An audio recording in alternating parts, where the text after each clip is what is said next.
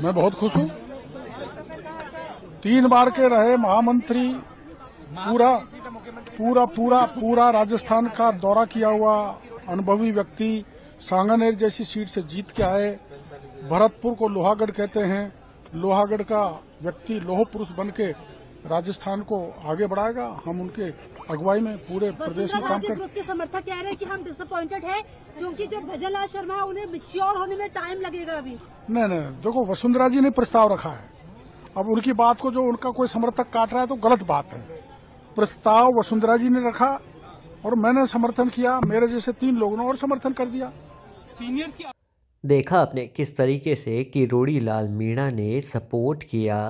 यहाँ पे भजन लाल शर्मा को सीएम बनने पर, जबकि लोगों ने कहा कि वसुंधरा राजे उनके समर्थक काफ़ी ज़्यादा यहाँ पर अफसोस में है। वहीं योगी बालकनाथ ने भी ट्वीट करके बधाई दी भजन लाल शर्मा को।